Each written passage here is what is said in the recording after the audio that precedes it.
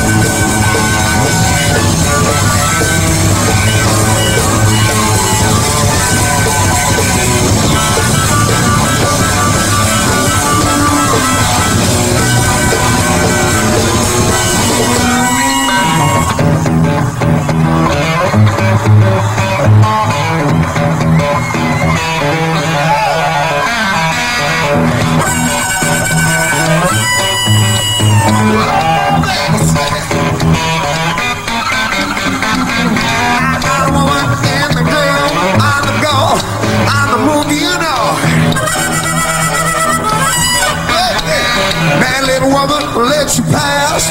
Bad woman.